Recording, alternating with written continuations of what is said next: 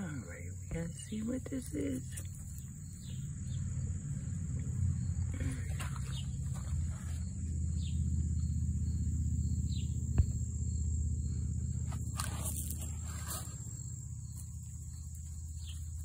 Interesting.